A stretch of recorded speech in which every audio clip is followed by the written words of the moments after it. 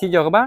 Ở cái tầm giá 5-6 triệu thì các hãng khác lao vào cuộc đua cấu hình như lên khung nhôm, càng nhôm, Mayer nhôm trục chốt bạc đạn khối thả, Groflex Shimano Antut 3x8, 3x9 thì vẫn có những cái hãng nội địa của Nhật vẫn giữ một lối thiết kế, một cái cách lắp đồ cực kỳ là tối giản như này.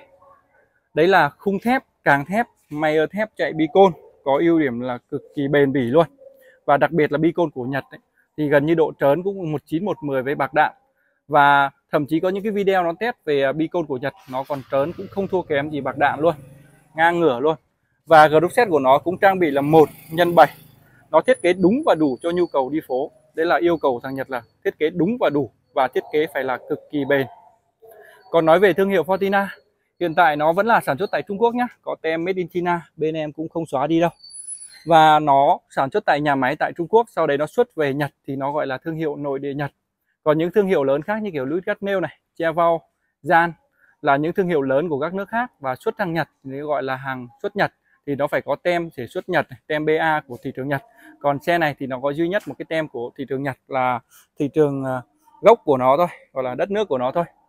Còn à, quảng cáo một tí là bên em bán tại nhà, cắt giảm chi phí cho nên giá sẽ tốt hơn thị trường nhé còn sau đây thì mời các bác vào phần review, đánh giá chi tiết cấu hình của em nó.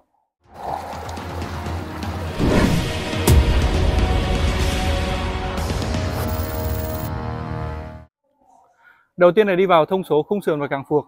Xe sử dụng hợp kim thép, có mỗi hàn thép nó sẽ chìm như này. Nước sơn tính điện thì cực kỳ mịn và đẹp luôn. Trước này có một cái mác nó dập nổi, nó giống như những con phượng hoàng Forever ngày trước.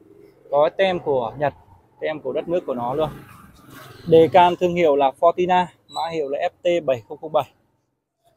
Xe thì nó không có các cái lỗ chờ hai bên này để lắp cái tay ba ga nhá, cho nên ba ga thì bắt buộc phải lắp từ cặp yên ra nếu cần còn cái lỗ chờ này đang bắt phanh này thì mình có thể bắt được chắn bùn ngắn, chắn bùn dài. Dưới này có hai lỗ chờ để lắp chân ba ga. Đối với cái loại ba ga mà từ cầu nguyên ra mà có lắp chân ấy, mà không phải là loại kẹp. Và một cái tay này để bắt cái chắn bùn dài, nếu các bác lắp chân bùn dài. Và xe có một cái chân trống thì phải nói là cực kỳ bền luôn. Chân trống giống ngày xưa không khác gì. Nói chung cái thằng Nhật nó làm cực kỳ là bền bỉ. Xe trước này có hai lỗ chờ đây để bắt hai cái gọng nước còn về sai số của xe, xe số dụng gối chống đứng là 45cm và dõng ngang của nó là 51cm nhé. Nó phù hợp cho chiều cao từ 1m63 đến 1m73 là đi chuẩn và chiều cao đi được sẽ là 1m58 đến 1m78 nha các bác. Còn về càng phuộc của nó, đây nó là càng thép luôn thôi, cũng giống như thế. Khung thì nó làm thép thì càng nó sẽ làm thép luôn. Nhưng mà chỗ này nó là sơn này, chứ nó không phải là dán đâu này. Những cái hãng khác ấy, những kiểu mà tầm rẻ rẻ hơn ấy thì chỗ này nó hay dán thôi hoặc là nó còn không in đề can gì cơ. Nó làm thường là nó làm phục đen nhưng con này nó phối màu thì có 6 màu cực kỳ là đẹp. Cuối video em sẽ để danh sách các màu để các bác tham khảo luôn nhé còn đánh giá về khung sườn càng phục này thì nó cực kỳ là nó chắc chắn và bền. Ưu điểm của khung thép ấy là rất là bền hấp thu lực tốt đi lâu sẽ rất là thoải mái. Nhược điểm của nó đầu tiên là khối lượng.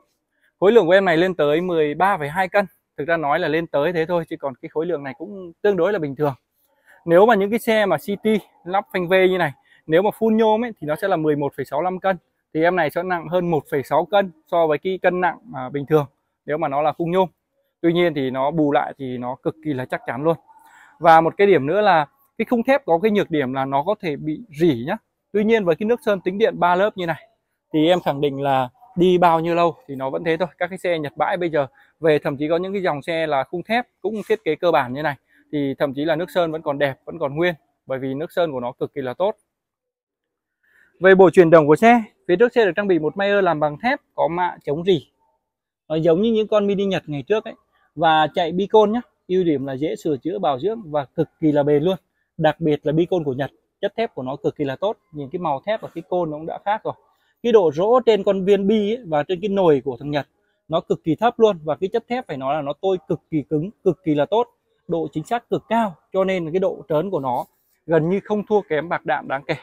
Thậm chí như em nói từ đầu đấy, có những cái xe họ đã test về bicon của Nhật thì nó còn ngang ngửa với bạc đạn bây giờ cơ. Đấy là những cái loại cao cấp, thép cao cấp của Nhật.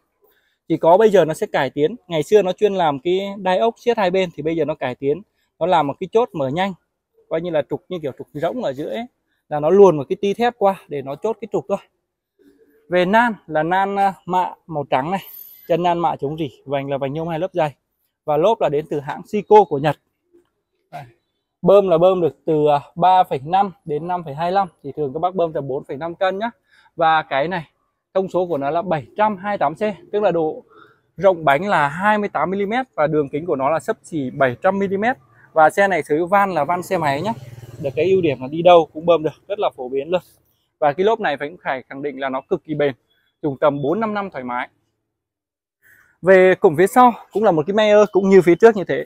Là cụm Mayer cực kỳ dày dặn, cũng là bằng thép, chạy bicon nói chung là không phải quảng cáo về cái độ bền của thằng Nhật nó làm nữa rồi. Còn về nan sơn này, nan này, vành bánh này, lốp phía sau thì cũng giống như phía trước nhá. Nói chung em đánh giá về bộ chuyển động này rất là ok. Phải nói là cực kỳ là tốt và cực kỳ là bền luôn. Về bộ truyền động của xe, đầu tiên sẽ được trang bị một đôi bê đan có trục cốt thép, chạy bicon viền trong là bằng nhựa, viền ngoài làm bằng thép và có hai cái vệt phản quang hai bên đi đêm rất là an toàn. Tuy nhiên loại này không được quá bền nhé tầm 5 năm rưỡi. Là bởi vì đằng trong là nhựa nó liên kết với ngoài bằng bốn con vít đạp một thời gian nó hay bị bay ra. Nó mà lắp cho bê đan phun nhôm thì ok hơn bê đan phun nhôm thì phải nói là cực kỳ là bền luôn. Còn lên bê đan để mặt trớn thì lên hẳn bê đan bạc đạm nhé nói chung các bác cứ dùng cái này cũng được kha khá rồi thì lúc ấy mình có nâng cấp thì nâng cấp.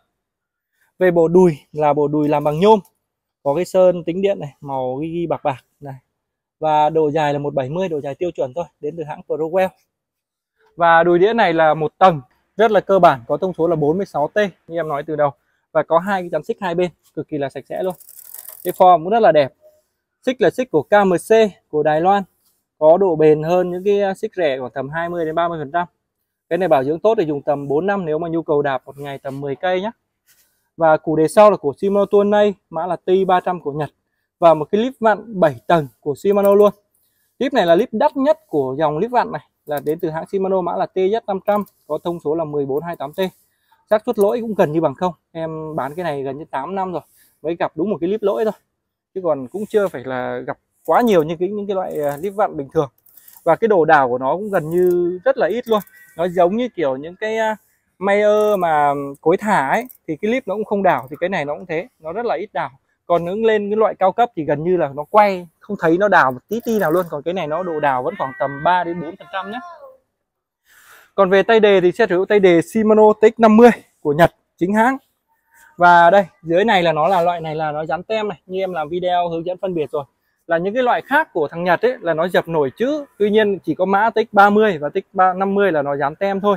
Và thằng TX30 ấy, thì nó rất là nhiều đồ fake trên thị trường. Tuy nhiên là TX50 như này thì em không thấy fake nhé và khẳng định luôn là đây là hàng chính hãng, các bác yên tâm này. Hàng nhà máy nó lắp lên trên một con xe như này thì không bao giờ nó pha thêm cái đồ đều ở ngoài. Trừ khi các cửa hàng à, nhập về nó cố ý nó thay thôi, nhưng mà theo em thì cũng chả ai thay những cái đồ này như thế, bởi vì nó có hỏng được đâu mà thay.